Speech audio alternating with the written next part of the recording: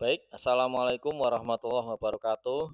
Saya Nur Wasis dari SMAN 3 Pati, calon guru penggerak angkatan 4 dari kelompok PP Bapak Mudianto.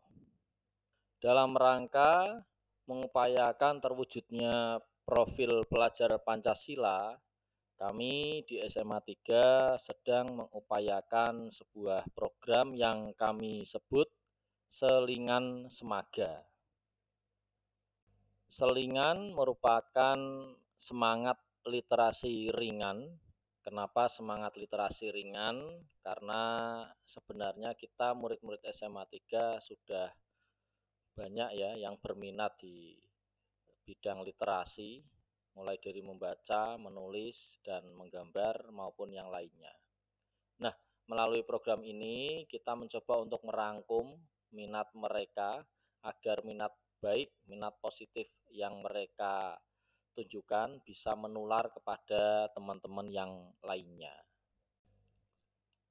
Literasi ringan kita mulai dengan mendirikan pojok literasi, di mana di tiap kelas kita upayakan untuk dibuat semacam perpustakaan kecil, simple ya, sederhana, hanya beberapa rak saja yang dapat menampung buku-buku yang disediakan oleh murid-murid itu sendiri. Perlu diketahui, setelah kita berdialog dengan mereka, banyak di antara mereka yang sudah memiliki bahan baca dari rumah. Nah, bahan baca ini kita coba untuk kita kumpulkan di kelas, ya. Bahan baca ini kita coba untuk dikumpulkan di kelas, harapannya agar mereka yang sudah selesai membaca buku mereka bisa ditukar dengan buku yang dimiliki oleh rekan lainnya. Nah, di pojok literasi ini selain rak juga kita upayakan untuk menyediakan mading kecil ya, terbuat dari styrofoam, kemudian kita tempel dengan lebar yang tidak terlalu besar di antara Eh, struktur organisasi kelas, kemudian kesepakatan kelas, maupun jadwal harian mereka, termasuk jadwal piket. Berikutnya di dalam selingan juga ada semagasin ya. Semagasin merupakan majalah resmi yang dibuat oleh sekolah namun ditulis dan diisi oleh murid-murid Kebetulan di ekstrakurikuler SMA 3 salah satunya adalah ekstrakurikuler Semagasin yang mana dalam ekstrakurikuler ini meliputi berbagai macam kegiatan yang berhubungan dengan literasi.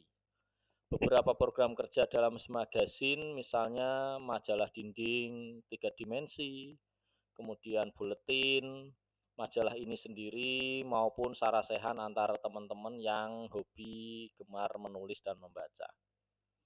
Ada pula sekali waktu kita mengadakan acara pelatihan jurnalistik, ya, di mana dalam pelatihan jurnalistik itu selain reportasi dan dokumentasi juga kita coba untuk belajar bersama membuat video, produksi video atau edit video maupun desain gambar dan tulisan tentu saja. nah, di SMA 3 sudah terpasang ya dari dulu itu ada satu majalah dinding atau mading yang mana majalah dinding ini sudah dipresentasikan atau kita sudah mengaktualisasi beberapa karya siswa mulai dari karya tulis, kemudian karya gambar, bahkan ada beberapa karya hasil dari eh, produk pembelajaran atau mata pelajaran prakarya Mata pelajaran prakarya ini dipamerkan pula di majalah dinding dalam bentuk majalah dinding tiga dimensi. Ya. Nah, kebetulan untuk tahun ini, alhamdulillah kita sudah mendapat mendapatkan kita sudah mendapatkan tambahan dua majalah dinding.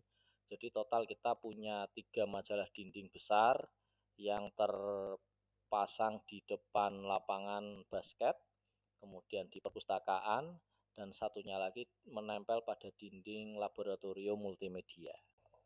Demikian, kurang lebihnya mohon maaf. Wassalamualaikum warahmatullahi wabarakatuh.